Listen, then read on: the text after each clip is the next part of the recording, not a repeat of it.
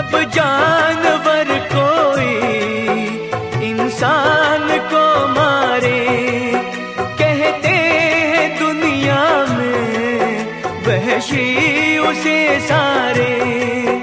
एक जानवर की जान आज इंसानों ने ली है। चुप क्यों है संसार? खुश रहना।